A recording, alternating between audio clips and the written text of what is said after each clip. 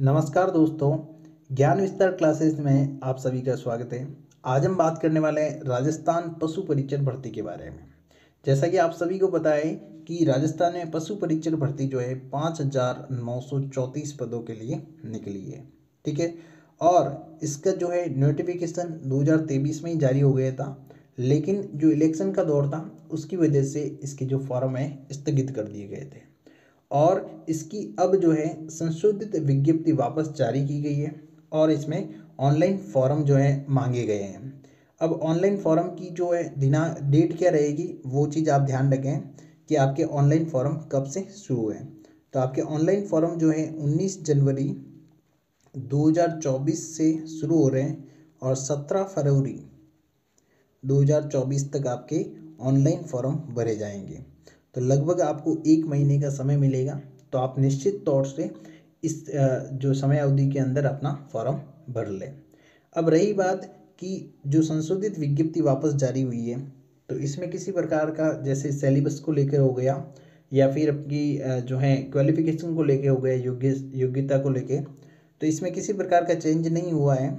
ये इसके लिए आप सभी को पता होना चाहिए कि दसवीं पास जो भी विद्यार्थी हैं, है ना यदि आप दसवीं पास है तो आप इसका राजस्थान पशु परीक्षण का फॉर्म लगा सकते हैं। इसके लिए किसी प्रकार का कोई दूसरा डिप्लोमा या सर्टिफिकेट नहीं मांगा गया है और ना ही उसकी ज़रूरत है, ठीक है?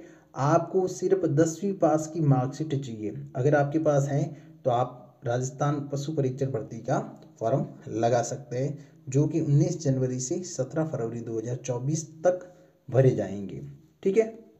अब रही बात सेलेबस की तो सेलेबस में भी किसी प्रकार का कोई बदलाव नहीं किया गया है। सेलेबस वही रहने वाला है आपका पार्ट ए एक सौ पाँच अंक का और पार्ट बी पैंतालीस अंक का, ठीक है? अब रही बात कि आपकी जो संशोधित विज्ञप्ति जारी हुई थी, वो यहाँ पे मैंने लगाई है। संशोधित विज्ञप्ति है, ये देखिए आप, यहाँ पे 12 जनवरी 2024 को ये संशोधित विज्ञप्ति निकली है, ठीक है?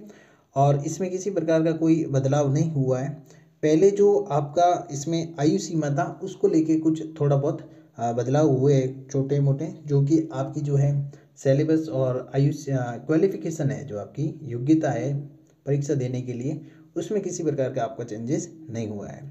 और यहाँ पे एंड में देखिए, ये लिखा हुआ है नीचे कि विज्ञापन की शेष शर्तें यथावत रहेगी, यानी कि जो अपनी पहले 2023 में विज्ञप्ति निकली थी, उसमें जो सेलेबस है और जो आपकी क्वालिफिकेशन है दसवीं पास तो वो मांगी है तो वही रहेगी।